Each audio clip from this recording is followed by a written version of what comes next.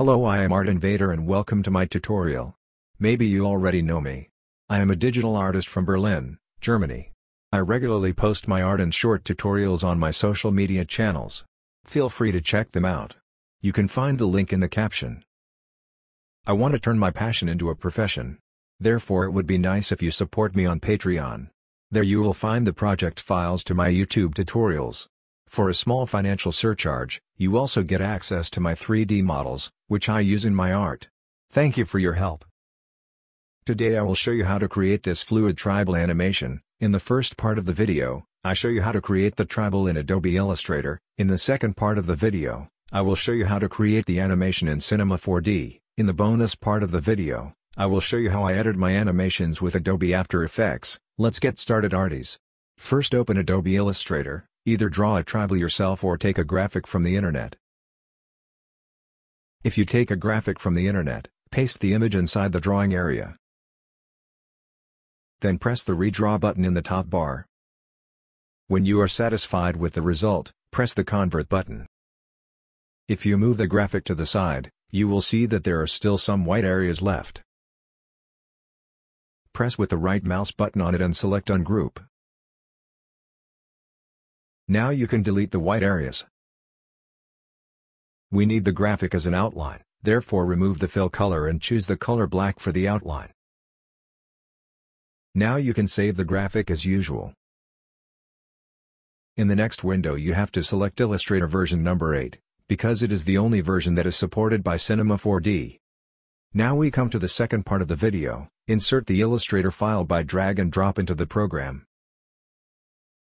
Then select Extrude from the top bar to create a 3D object. For offset select 0.1 cm. So that the pages are regularly divided into segments, we still have to adjust the spline. At intermediate points you select Subdivided. At angle you take 5 degrees and at maximum length 0.01.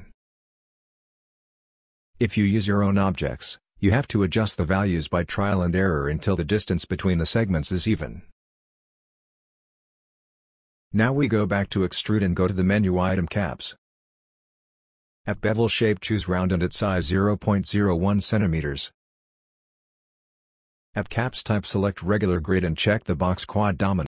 You have to adjust the size value until you see a square segment grid on the surface. In my case it is 0.01 cm. Make a backup copy here, select one of the 3D objects, press with the right mouse button and choose Connect plus Delete. Now we come to the fluid animation. For this we need the form deformer. Place the deformer under the 3D object. Press the Fit to Parent button.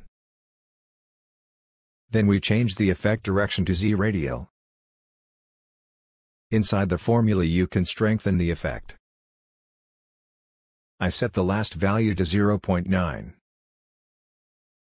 So that the effect does not look so monotonous, I animate the deformer box. Go to the coordinates. Set the slider to the beginning of the animation and set a keyframe for all rotation directions. Then move the slider to the end of the animation. Enter new values for the rotation, but don't make them too high, because the animation is only 3 seconds long.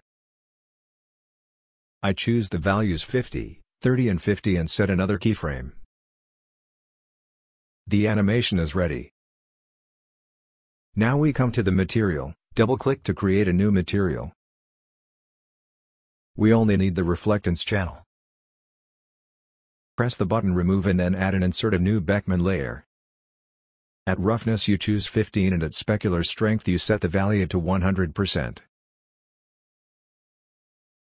The first material is ready, you can drag it onto the tribal. Now select sky in the top bar.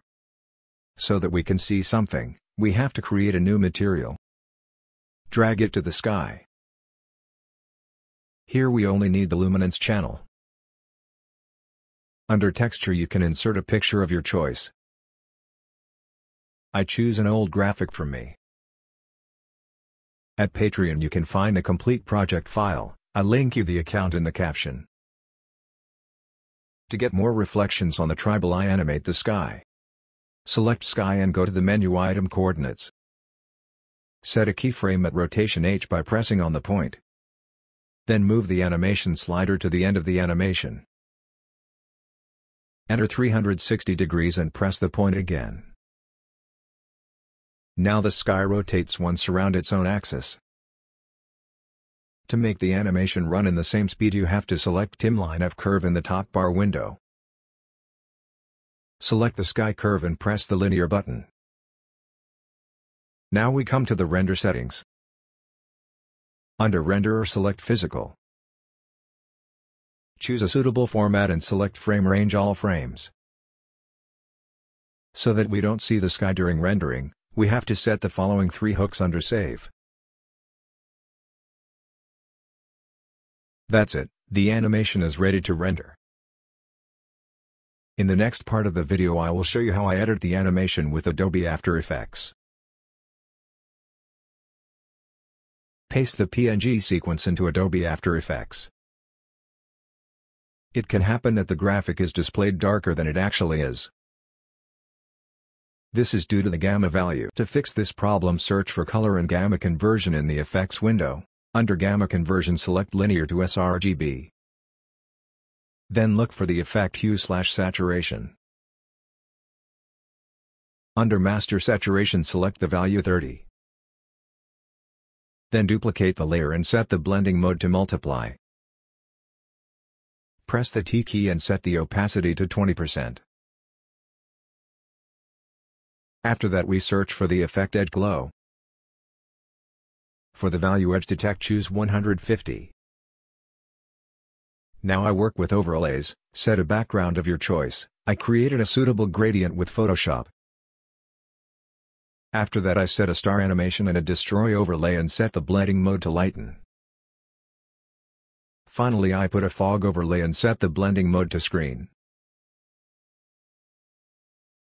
Finally I search for the effect tint to adjust the white tones to the blue in the background. With the key T I reduce the transparency to 50%. Now we make a prefect loop out of the animation. For this we press Command plus A in the plane window and then we click with the right mouse button and choose Pre-Compose. Then we press the right mouse button in the preview window and select Composition Settings. There we increase the animation duration. Then we duplicate our composition. There we press with the right mouse button on it, go to Time and select Time Reverse Layer. Now the composition runs backwards and can be moved to the end of the animation. The animation is ready, well done arties, thanks for the positive feedback, when I have 10,000 followers I will get a camera and a mic.